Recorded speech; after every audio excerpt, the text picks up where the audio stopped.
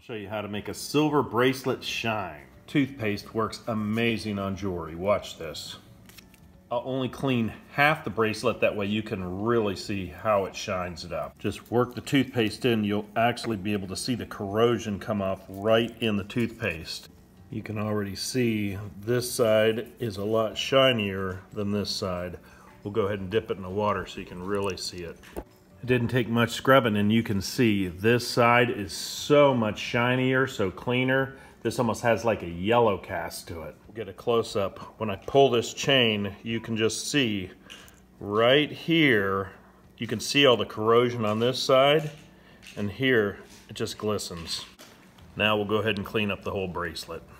It doesn't take something complicated to make your jewelry shine like new.